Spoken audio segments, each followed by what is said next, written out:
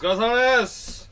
今日はですねまあ諸事情により世の中の諸事情によりアーティストの方が来てくれてるんですけど濃厚接触を避けるということで特殊スタイルでねやりますけどもじゃあちょっとね登場いただきましょう。ははい。あいいねこれってこれ俺これでやっていこうかな。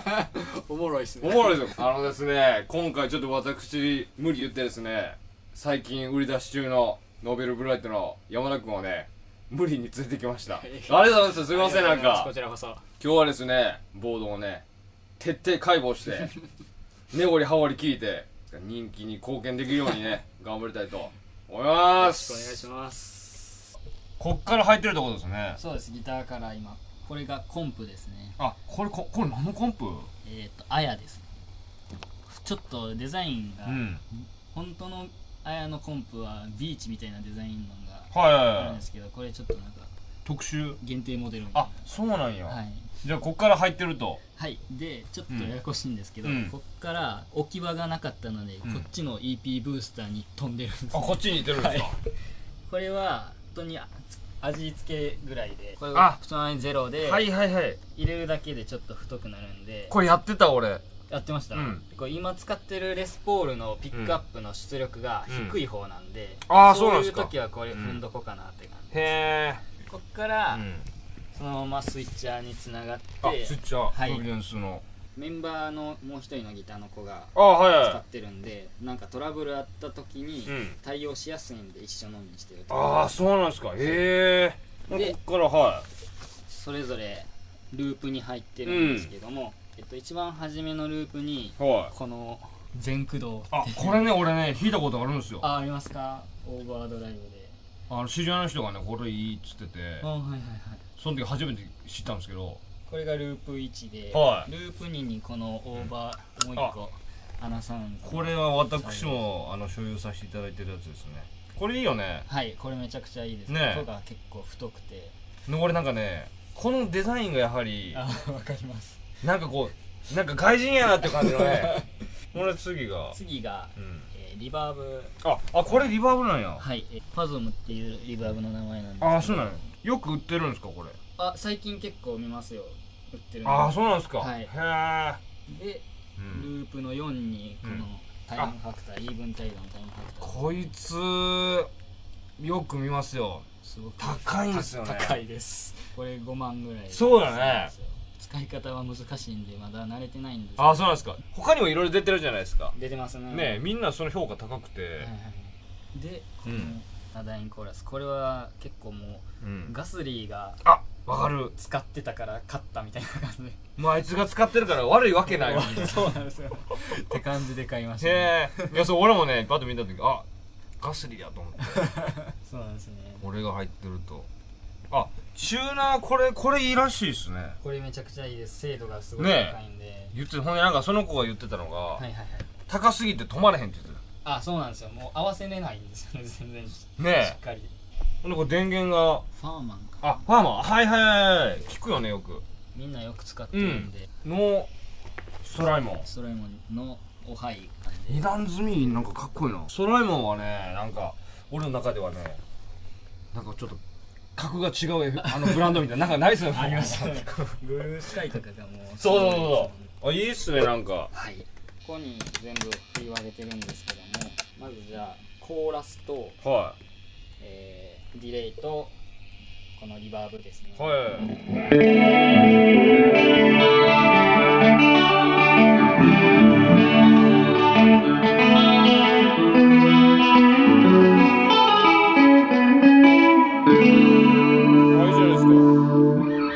でアンプがねこれ私物なんですよねこれ。これが私物ですね。いいっすね。ブルースブレイカーですね。うーわ。コンボが好きであ結構。めっちゃわかる。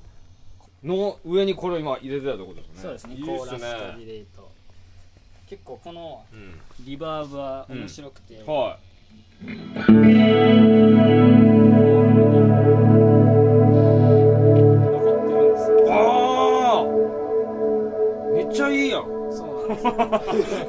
そういうのしたい時あるの？そうなんですよ。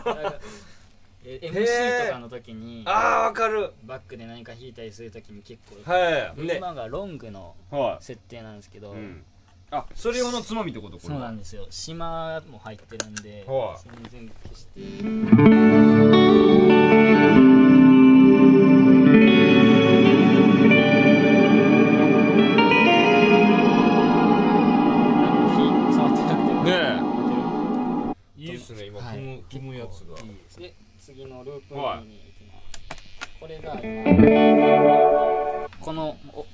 バードライブとはい。ディレイとリバーブが入ってる。はいはいはい。ちょっとクリーン。に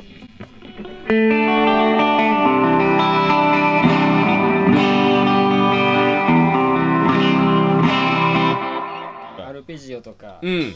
するときにこういう。ちょっと歪ましてみたいな、はい。これ3がどんな感じですか？これがうん。今、いこれは1個だけではい。このクランチだけですね。ああはい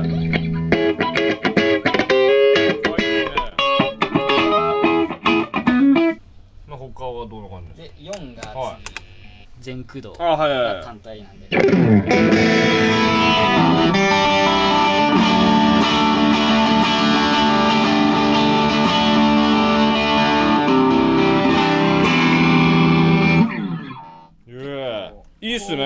感がすごく綺麗に出るんで、一元一元結構うん。綺麗に歪んでるから、はいはいはい。あんまり歪ましてないのに、はい。ジャリって感じが出るんかな。荒い感じも出るし綺麗な感じも出るし。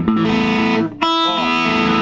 確かに。なんかあれなんですよねあのねバンドの時に使いたいエフェクターと家でやりたいエフェクター ちょっと別でね。これなんかバンドの相性がめちゃくちゃそうなんですよ。いい感じしますよね。押し出てくるんで、うんあんま埋もれずああんまり目立ちすぎずみたいな感じで。めちゃくちゃ単体でいいエフェクターでも埋もれてたら意味ないからね。そうなんですよね。もっと全く聞こえへん。いそうなんですよ。やあるあるからねバンドってね。ね。ほんまに。歪み具合とかもめちゃここがいいのにああはい漏れちゃったりとかがあるんで、ハイがちょっと出るからやっぱ聞こえやすいんじゃないのかな。そうですね、ん。キラキラした感じいいっすね。ででこれにはディレイが足されてる。いああはい。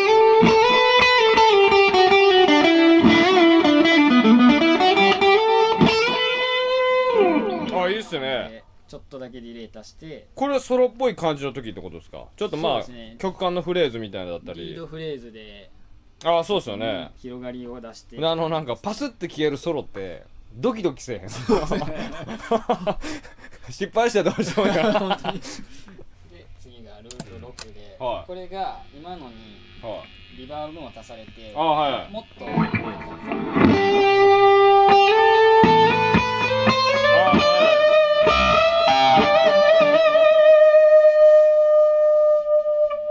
もうコンプはもうだからずっとかかけっぱですね。あそういうことですか。このコンプはもううんなんか、カッティングとかの,、うん。あの感じを出すとかよりも粒を揃えるようにあーはいはいはい入れてるだけなんで。で最後がはループ7がうん。ソロいはい。弾く時用なんでこのアナサウンドの音と全これも入ってるみたいな。一緒にはないって、はいはいディレイが入ってる。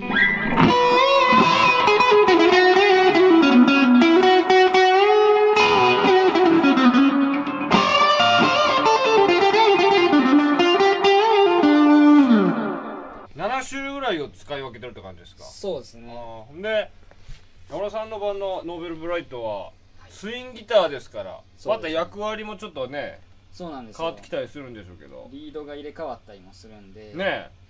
えいいっすね。てな感じでちょっとね弾いていただきましたけど。で山田さんのバンドはツインギターなんで、はい。あそうです2人で来てくれなそういう企画いいんじゃないですか。あ多分喜ぶと思いオッますケー出してくれたら 俺いつでもいいよ。